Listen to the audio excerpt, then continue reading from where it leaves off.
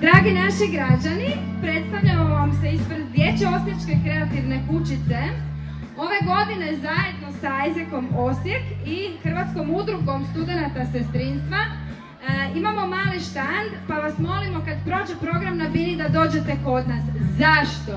Ove godine je tema depresija i mi smo osmislili jednu inicijativu pod nazivom Smijehom protiv depresije. Kaže...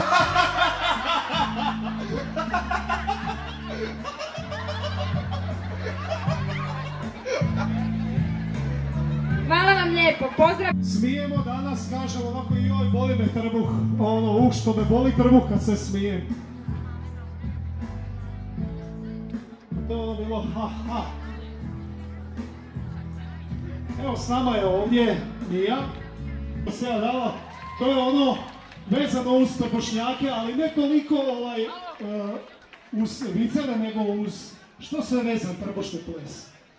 Kao prvo lijep pozdrav svima. Drago mi je vidjeti vas u ovako velikom broju povodom obilježavanja Dana zdravlja. Danas su s vama moje trbušne plesačice, Zumba fitness članice i male djevojčice.